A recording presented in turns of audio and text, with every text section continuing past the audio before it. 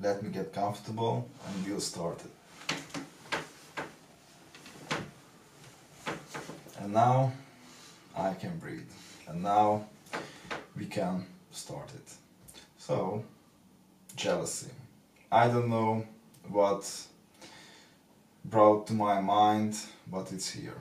So you have to talk about it. And uh, it's everyday stuff. So I think it happened with everyone, every kind of aspect, like you would be in one side and the other side. I mean like one, you were jealous, jealous of someone or you made someone jealous to get things.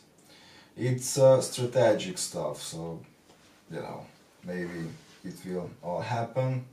But uh, I learned one thing with my uh, girlfriend's career, like uh, like one girl made me jealous and I saw how powerful is that because she was basically just uh, talking with my friend.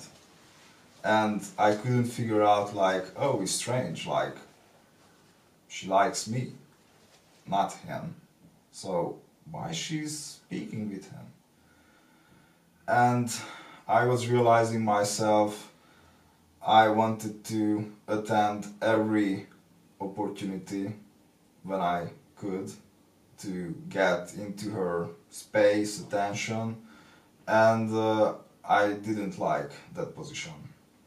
But I learned that from her, so when I wanted a specific girl, just one strategy, is uh, I always went to the girlfriend of hers and I was really nice with her. And of course that made the other girl think like she likes me? She he he likes me not her. Then why he's acting strangely? But yeah it, it's my strategy so i'm curious like what it's yours maybe i can learn from you. So let me know in the comment and subscribe. And yes so jealousy. And it can be you can be jealous to a friend as well like if it's not in girl way like relationship way when someone is making success and you can be jealous. I think it's not something uh, you can avoid. But um, my opinion like you can use that jealousy to uh, do your best interest. And it's like if you see someone is succeeding then you have to think you, you can do that as well. Um, for example like if I saw one of my friend was you know passing an exam. Of course I was jealous when I failed because it uh, you know it's it's I don't want to say that word but it, it, it bad.